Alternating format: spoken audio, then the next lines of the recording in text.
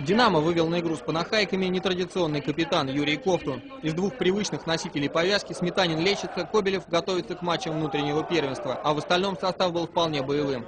Вкупе с вопиющими ошибками вратаря греков Каравакаса на выходах это давало надежду на крупный счет.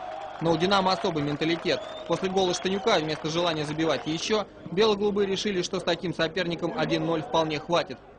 В результате Панахайки, 15-й команды Греции, легко и свободно не низвели самую авторитетную оборону России до своего уровня. Без всякого сопротивления ударом в упор Глих сравнял счет 1-1. Может быть, такой поворот дел и стал бы москвичам пресловутым холодным душем, если бы не потрясающее событие. Неожиданно на ровном месте, если эти слова применимы к динамовскому газону, получил травму главный судья. И запасному арбитру Хусаинову пришлось переодеваться на игру. Вся эта история бесповоротно настроила присутствовавших на цирковой лад. Трибунам уже нужна была не столько победа, сколько веселье, и звездой дня стал Куценко.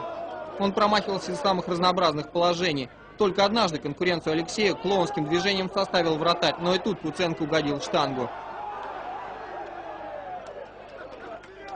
Динамовец в конце концов забил на последней минуте тайма, но, во-первых, все для него сделал Кульчий, а во-вторых, уводя мяч с ноги партнера, Куценко рисковал дать судье повод зафиксировать офсайд, но все обошлось 2-1.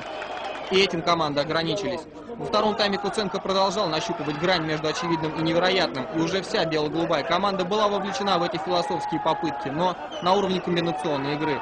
Между тем счет 2-1 по праву считается в футболе скользким. Ближе к концовке греки попробовали пойти в банк и пару раз свистяще били издали. При этом им удивительным образом никто не мешал. Динамовцы удержали победу, но после матчевые поздравления воспринимали как скрытый сарказм и оправдывались каждый за себя. Ну, не знаю, в дубле почему-то забиваю, вот, когда играю.